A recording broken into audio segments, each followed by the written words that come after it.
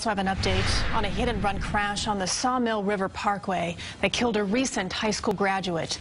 Westchester County Police made an arrest overnight. The suspect appeared before a judge late this afternoon. CBS 2's Ali Bauman has more now from the Yonkers courthouse. 19-year-old Junior Silverio Ventura leaves Yonkers City Court in police custody earlier today, held on $50,000 bail after his arraignment. The Yonkers father faces felony charges of leaving the scene of a fatal accident. According to witnesses, there were several other vehicles that were involved with the suspect vehicle that picked up the suspects from the scene of the accident and took them away. Police say around 3 a.m. Monday, Ventura was speeding northbound on the parkway and hit 18-year-old Zachary Dunn, a Yonkers Palisades preparatory graduate who was supposed to start his freshman year at Westchester Community College today.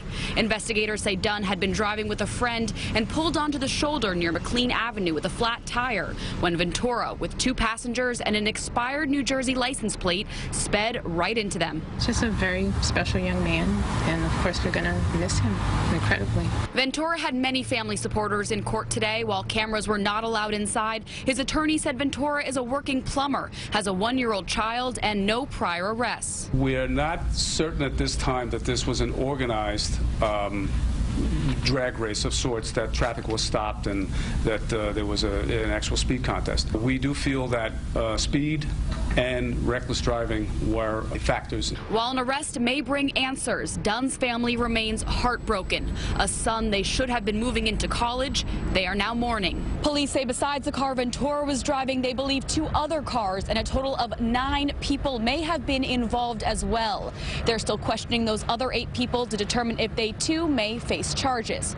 From the Yonkers City Courthouse, Ali Bauman, CBS 2 News. The passenger in Dunn's car was treated at the hospital for his injuries and released.